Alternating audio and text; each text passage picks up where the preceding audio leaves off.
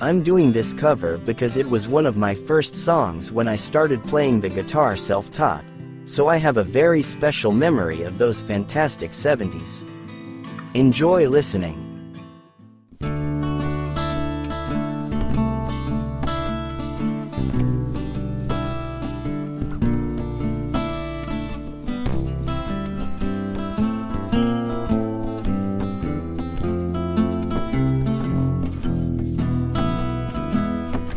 can't